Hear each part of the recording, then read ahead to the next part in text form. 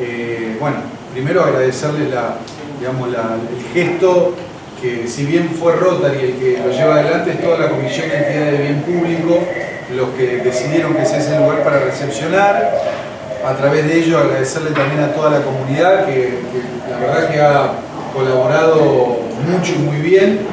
El centro va a seguir estando abierto todavía mañana a la mañana, o sea, esta tarde y mañana a la mañana hasta la una de la, de la tarde del día sábado. Eh, y como ya eh, tiene poco lugar, se está empezando a llevar, ellos están empezando a entregarle al municipio para llevar al SIC todo lo que no les va entrando allí. Eh, yo creo que lo charlamos ahí con las entidades y lo digo acá también para que se sepa, me parece que hay dos cosas que merecen la máxima transparencia. Aprovechando que está vos Natalia, creo que es una, el tema de las compras, el Consejo Municipal nos dio este, la facultad para hacer las compras de emergencia sin necesidad de ir a, los sistemas tradicionales de, de licitación privado-pública.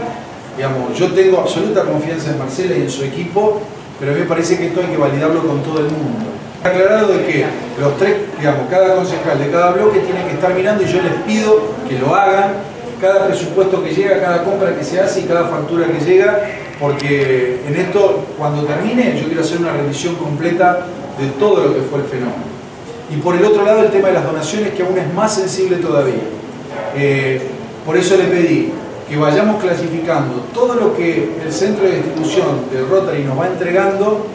todo lo que nosotros vamos entregando a cada familia que va necesitando con, con un recibo que respalde y después hacer el resumen general para que junto con la entidad de bien público le digamos a la comunidad dónde fue destinada cada una, bueno la ropa es más difícil porque llegan bolsones, pero todo lo que es agua mineral, leche, lavandina, bueno, todo eso habrá que claramente decir a dónde este, se fue entregando y si hay sobrante, decir cuánto sobró y qué se va a hacer con ese sobrante, porque también seguramente hay gente del departamento, hay gente de la región que puede llegar a necesitar también en forma inmediata. Entonces digo, esos dos procesos yo lo quiero eh, eh, pasar aquí, digamos, plantear también la Junta porque eh, creo que la comunidad también reclama transparencia en esto y es lo que nosotros tenemos que hacer. Velocidad en la entrega, pero transparencia, o sea, las dos cosas.